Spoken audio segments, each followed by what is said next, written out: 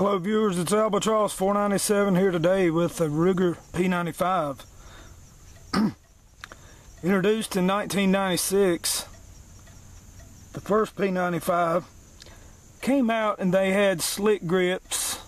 Uh, they didn't have a, a Picatinny rail, but in 05, the P95 PR, which stands for Picatinny rail, was introduced. It, it had better texture on the grips and it also had the Picatinny rail. Uh, I have some news about this handgun. If you want to stick around to the end, I'm, I'm going to tell you what's going on with it.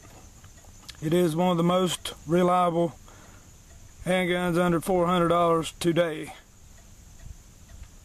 Let's do a little shooting. I've never owned any of the pre-2005 models. I, I really don't like the texture on them, but I'm sure they're just the greatest gun is uh, the 05 and up. Using a little bit.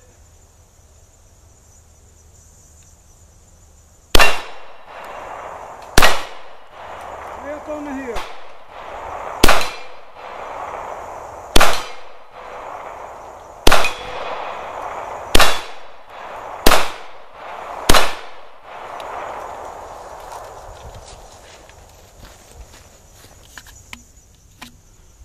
And these things are built like a tank, some of the most heavy duty polymer I've ever seen.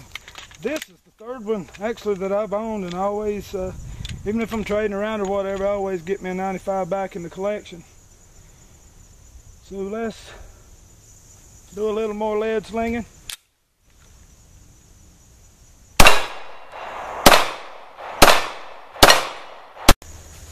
It is a man's gun.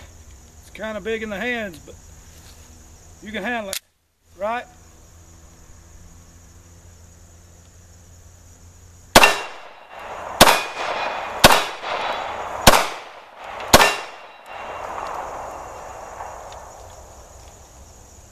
Ruger reliability, tough as a tank, and it's one of the best handguns that uh, you should be able to get tax and all under $400. And the news I promised you uh, about the Ruger P series, they're all being discontinued. I looked on Ruger's website last night and as of October 2013, which is this month, they've been taken out of the catalogs, been taken off the uh, Ruger's actual website as being listed for sale. So if you want to get you a brand new one, might ought to go ahead and do that now.